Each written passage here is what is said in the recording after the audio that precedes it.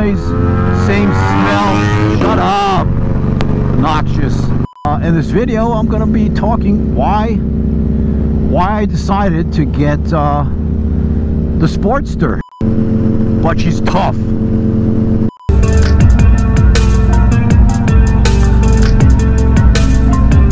So pretty. Just do a short outing ride early in the morning and uh, we'll be back home even before the family pretty much wakes up. So we are going out to our uh, playground upstate New York one of the parks nearby. You've probably seen it more than once. And in this video I'm going to actually be talking about my latest addition to the Harley to my Harley uh, family. I got to keep my Electra Glide some company. I said somebody uh, asked what, hope hoping that the new iron 883 Sportster iron 883 that I got is not replacing my 2020 Electra Glide standard. And I said no man Harleys are herd animals. They have to be in a a group. They have to be accompanied so my 2020 Electra Glide standard here was feeling lonely the last year so I had to get it another another companion in the garage. Garage is getting too cold over there. So uh, in this video I'm gonna be talking why why I decided to get uh, the Sportster the Iron Sportster 883 why that bike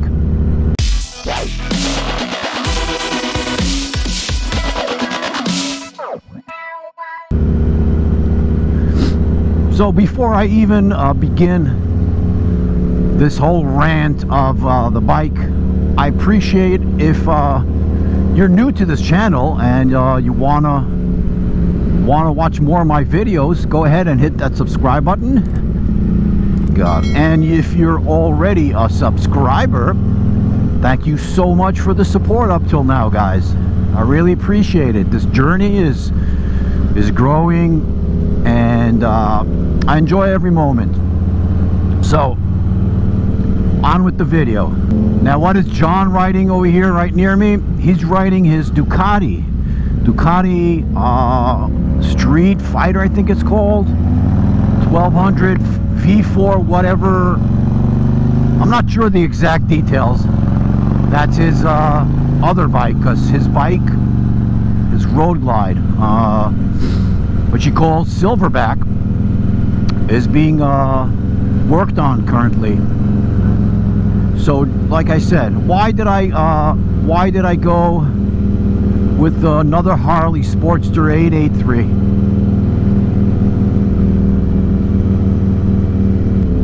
Well, first thing, a Sportster is a great beginner bike or second bike.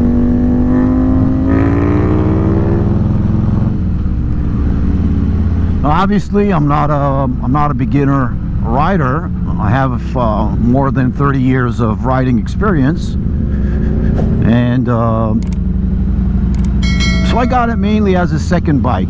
Second bike is great. The the, the platform is great for uh, fun around town or even on highway riding. Wait a second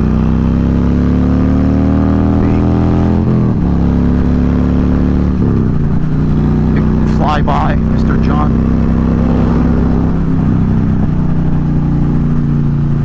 So coming down from a heavy bike, almost 900 pounds, almost 900 pounds of uh, of iron.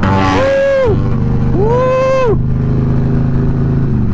There's nothing like uh, when you want a short ride around nearby, just fun, good weather, to hop on a, a light, powerful, well, powerful, a light and nimble and fun, full of character bike. And uh, the Sportster is exactly that bike. Same family as uh, same family as my Electra Glide, the Harley, the V-twin, with the same thumping noise, same smell. Shut up! Noxious.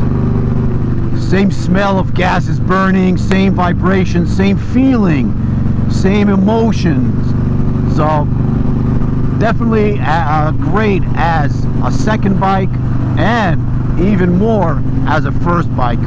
First bike, a great starter bike, although it's not the lightest and there's there's some other uh, lighter alternatives, but in terms of handling, fun factor, uh, emotions like feeling on the bike, proud, uh, like pride of ownership, nothing like a Sportster. So that was uh, reason number one. Second reason is uh, it's a great platform for all kinds of upgrades, modifications, doing work on the bike. Relatively a, uh, a simple bike. Relatively a simple bike, uh, you know, to work on, not too complicated. Uh, there's a lot of space between, oh, can't even talk. The motor area is not congested. It's easy to work on uh, on the pipes, on the heads, on uh, everything around the bike. Easy, simple. And since it's since it's such a such a big uh, following, such a big market here in the states, there's tons and tons and tons of parts, modifications. A lot of companies, a lot of companies putting out aftermarket parts and stuff like that. So it's a great platform to build uh, to build your uh, your own personal bike build, and that's one of the reasons I I bought this bike. I'm planning to have uh, a build series around it. Gonna do a lot of mods, a lot of builds around this bike. And at this stage, I'm not going to tell you exactly what I'm what specific build I'm doing, but I'm to spend a lot of hours around this bike tweaking, modifying, upgrading uh, my new Sportster. Now the third reason, third reason is the following. Sportster, Harley Sportster has a huge, huge, huge following around the world, uh, on YouTube, on the media, social media, everywhere. One of the most searched uh, items is uh, a Harley Sportster. And usually it appeals to younger, younger uh, viewers, younger people that are just starting their journey in, uh, in motorcycles.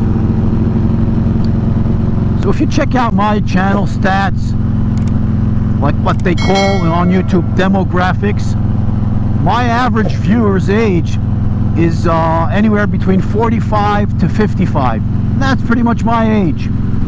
But I'm trying to capture this, the younger rider. Younger rider, beginner rider, I'd say in his 30s, early 30s, that just got uh, started to get comfortable, house, family, and wants uh, to develop or to start riding and get uh, like a little hobby in there in his recreational time usually majority of them look for you know Americans look for the Harley and the bike they want to start with is a Harley Sportster. Now, I'm trying to get those guys to watch this channel and see us old dudes how much fun we have in our age riding and hopefully uh, watch it John. Hopefully we'll be able to capture capture them and show them how us old farts have fun and how much fun they can have uh, riding bikes and uh, you know developing their culture because I know now younger younger riders these days are not really into uh, motorsports and stuff like that. So I'm hoping to capture them, to bring them into to the Holy Shift family, to bring them into the Holy Shift family, and have them uh, uh, with us on this journey. And the last and actually the most important reason I decided to get the Sportster 883 is my daughter. My second daughter, Sean. She's 21 now. She just uh, she just got her uh, motorcycle driver's license. Went to uh, an academy, a riding academy in Israel, and completed the road test. She rode, uh, I think, a KTM 390 over there for like 20 lessons, and then took the road test. And she's really all excited about it. Currently, I don't know if you know at this stage, she's in Israel, serving already two, two years in the military, and in a half year, she's supposed to come back to the States. So I'm really excited about her getting her license. A bit scared as well, of course. And I wanted to have a, a, a nice bike for her to be able to ride with me. And I think as a, a beginner bike, she'll be able to handle it. I mean, she's small. She's 5'5", 5'6". But she's tough. She's like in the military right now in Israel. She's uh, a frontline unit, so she's she's a tough a tough cookie. I'm sure she'll be able to handle this bike, but again, I want her to have uh, an easier bike to handle. It's a bit it's a bit heavy, but it's not too powerful and it's nimble and it's low i mean it's yeah it's low it's you know you can she'll be easily able to to reach uh, flat foot the floor uh, flat foot the ground when she's uh, standing so that is pretty much the main reason why I got this bike for her she'll be uh, coming uh, here on vacations to visit and hopefully we'll be able to get a few rides in and to let her, to let her have a, like a, a beautiful smile on her pretty face. Oh, I just remembered one thing that I wanted to mention over there, right there when I was talking about my daughter. My daughter Sean, being a proud, a proud American Jew, decided to serve and protect the Holy Land, Israel. That's why she went and joined the Israeli military. Very proud of her. Now to all my other kids that are watching, don't be jealous. I love you all the same. Nikki, I love you. You know that. I'd do anything for you. Don't be jealous. Daniel, my boy, you know I love you, man. When you're older and you decide to do stuff like this, we'll take care of you. And Elatush, 14-year-old, youngest one, you know I love you. I love my wife, my beautiful wife as well. So, that's it. Those are the, the, the top reasons that I was thinking uh, of, you know, mentioning during this video why I decided to get uh, the 883, the uh, Harley Davidson Sportster 883. Now about the bike itself, oh, it's a little bit bumpy over here, the road.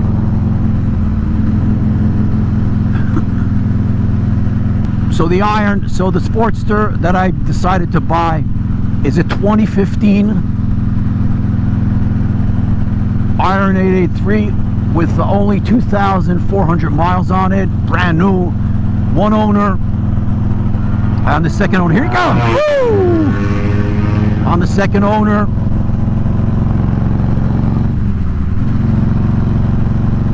And it's in great condition. The owner before me did a lot of mods on it, upgrades, and believe it or not, he was very meticulous about it. He saved all his older parts. So I have all the parts. Next video I'm going to do is going to be, I'm to be washing the bike because it's really, really filthy dirty and I'm gonna unbox the box that he box of goodies that he that he left for me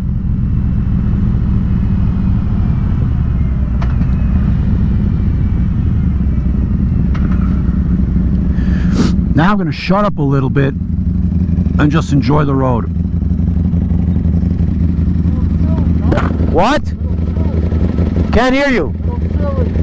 Yeah, it is. It is. A Bit chilly.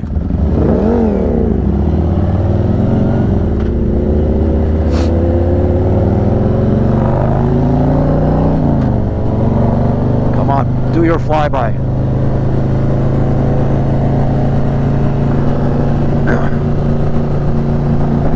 It is a bit chilly, but manageable.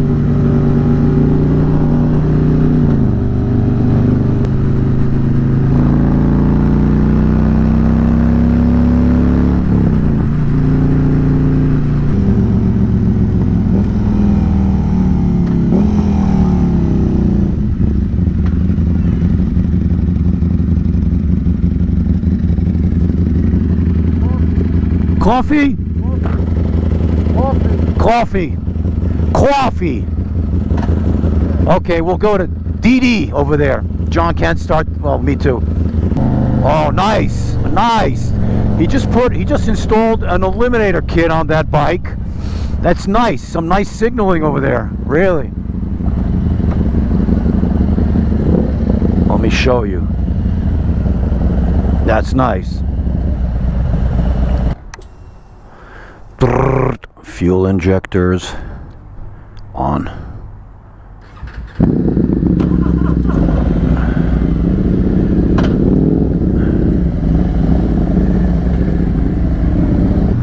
We were just wondering, John and I, while we were drinking coffee, uh, I don't know if there's any lawyer out there between uh, among amongst you guys. Tell us uh, if you know what is the legality of uh, in court of uh, or evidence. Let's put it that way, using using the video footage that I post on YouTube against me. If I, uh, let's say I'm doing uh, running a red light, if I'm uh, turning where it's not allowed, if I'm over speeding, and the footage is uh, shown shown online, can that be used against me in court? If no other uh, person, like there, no policeman stopped me, no policeman stopped me, and just randomly authorities look at the video and say okay and send me a ticket or call me for uh, for court whatever. Can that be done? I was always wondering because I see everybody a lot of uh, moto vloggers on YouTube go ahead and hide their speed if they're over speeding obviously I never overspeed. I always go legal speeds. Uh, but if uh, accidentally I was I were to go uh, over the speed limit, would uh, any uh, authority or an official be able to take that footage and send me a ticket or I don't know or do something? What is the legality of that thing? Uh, if uh, there's any lawyer among you amongst you guys, please let me know down in the comments what you know or what you think uh, can be done, if at all, because so many motor vloggers are so busy during editing, uh, hiding, hiding their speed and stuff like that, footage. What are the legal ramifications for something like that?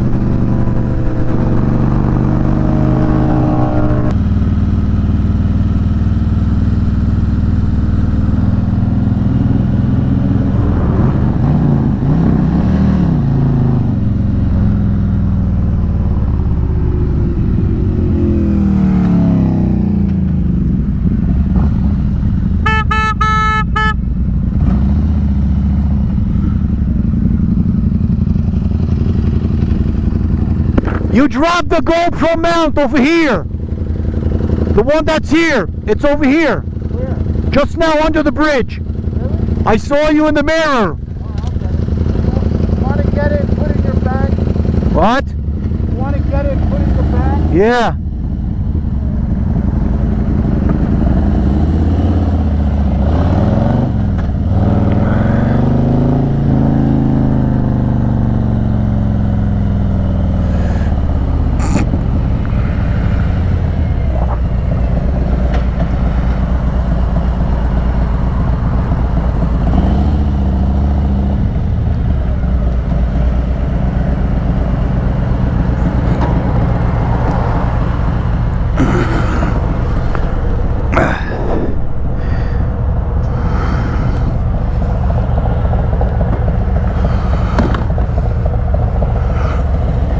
Okay.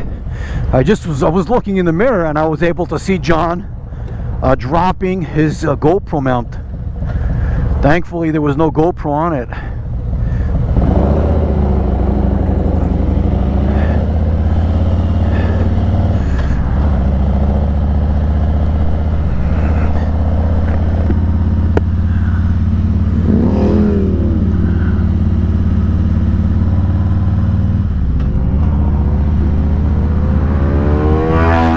Oh, that's how you thank me. Check the mic and make sure it sound right, boys.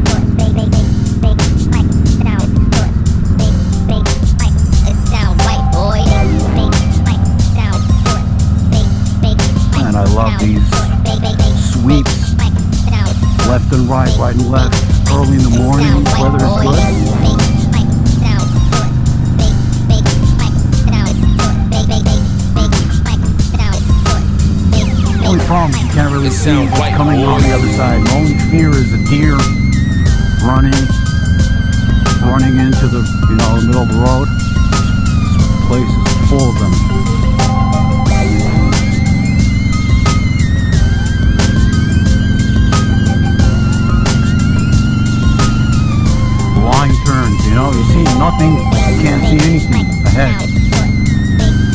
What's behind that turn?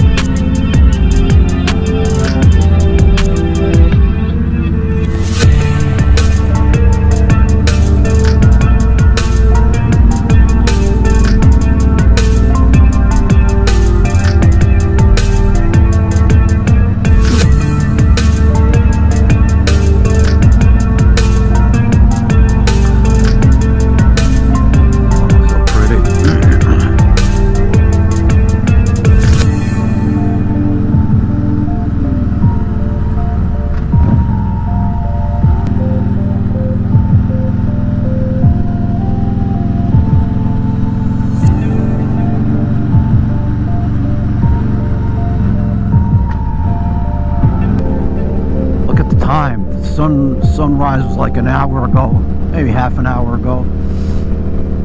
On both sides, left, and right. Water level is extremely high after the the crazy amount of uh, waterfall that we had a week or two ago.